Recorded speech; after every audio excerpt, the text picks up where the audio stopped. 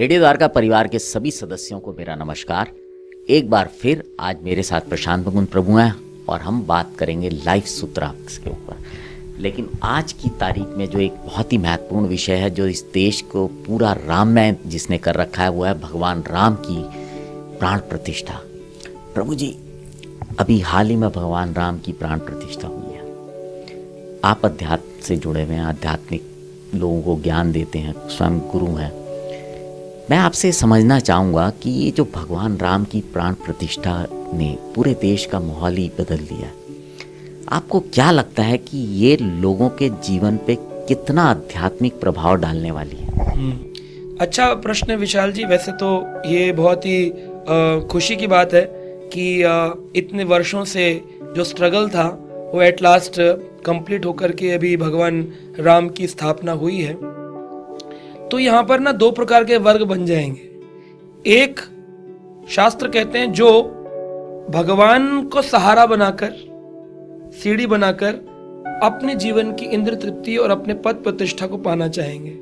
दूसरे प्रकार के लोग होते हैं जो पद प्रतिष्ठा और अपने ज्ञान का इस्तेमाल करते हैं सीढ़ी बनाकर राम तक जाने के लिए। तो दो प्रकार के ग्रुप होंगे। अब ये व्यक्तिगत है सबके लिए। वह व्यक्ति उसको भगवान राम को सीढ़ी बनाकर पद प्रतिष्ठा पाना चाहता है या पद प्रतिष्ठा का इस्तेमाल करके राम की स्थापना करना चाहता है? तो इसमें भक्ति का बहुत बड़ा महत्वपूर्ण अंग होगा। हमारे भारत में प्राचीन सभ्यताएँ हैं। पहले से अनेक मंदिर हैं। बद्रीनाथ धाम, श्री जगन्नाथपुरी धाम, द्वारिका धाम, रामेश्वरम तीर्थ अनेक अनेक तीर्थ हैं।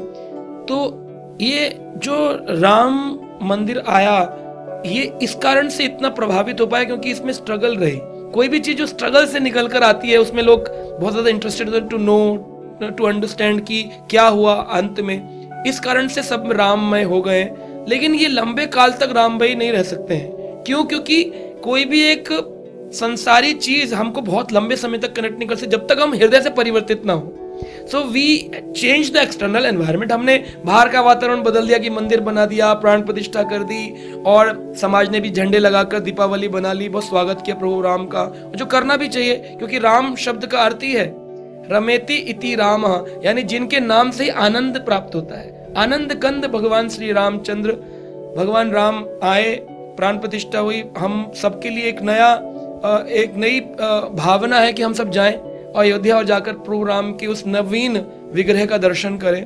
परंतु साथ में ये भी याद रहे कि राम जी के विग्रह के दर्शन के साथ साथ राम जी के जो रामायण में उपदेश हैं, जो उनके प्रसंग, मार्मिक प्रसंग जो हमें जीवन जीने की शैली सिखाते हैं, उन पर भी चिंतन किया जाए, उनको अपने जीवन में धारण किया जाए तो instead of only worshipping God we have to follow what God has said in Bhagavad Gita, Mahabharata, Bhagavata, Ramayana तो प्रभु राम के जीवन के ऐसे प्रसंग है जैसे प्रात काल उठ के रघुनाथा मात पिता गुरु नवही माता। अब कितने लोग सुबह उठ करके अपने माता पिता और गुरु को प्रणाम करते हैं या करने लग जाएँगे राम जी के आने से? अगर वो ये नहीं कर रहे हैं तो फिर राम जी के आने से क्या हुआ?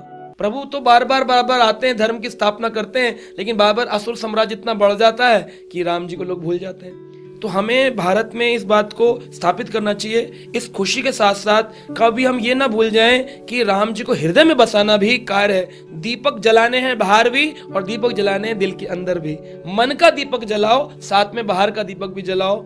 राम के भजन बाहर गा रहे हो, राम का चिंतन भी मन में करो। राम का विग्रह का दर्शन बाहर कर रहे हो तो अंदर के नेत्रों से राम की कथा के साथ अपने हृदय मानस पटल पर अपने हृदय के अंदर ठाकुर जी को विराजमान करो। अगर ऐसा कोई कर पाएगा तो वो सही में लंबे काल तक, जब तक प्रभु से नहीं मिलेगा, वो जीवन समाप्त नहीं होगा। बोला, नहीं, अब तो मैं अपने अंत काल तक ऐसे प्रेरणा से रहूँगा कि प्रभु से मिलके रहूँगा, प्रभु को मैं पाकर रहूँगा। उस भावना से जो लोग होंगे, उनकी अलग गति होगी।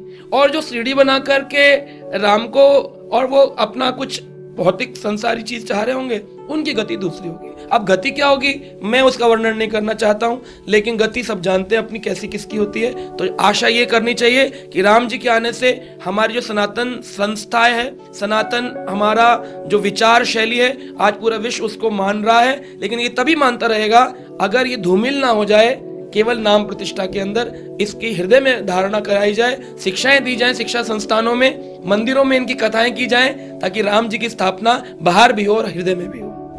बहुत बहुत धन्यवाद प्रभु जी, आपने बहुत बड़ी बात बोली कि राम की जो स्थापना है, जो दिए हैं, वो जो हम बाहर जला रहे हैं, वो मन के अंदर भी जलाएँ और उनके हृदय में भी अपने स्थापित करें। सो वियर्स आपने सुना, ये बहुत बड़ी बात है और आपसे भी हम निवेदन करेंगे कि जो भगवान की शिक्षाएँ हैं, उनको भी ग्रहण करें और उनको अपने जीवन में भी अपनाएँ। अब आपसे विदा लेते रहें बने रहें रेडियो द्वारका के साथ।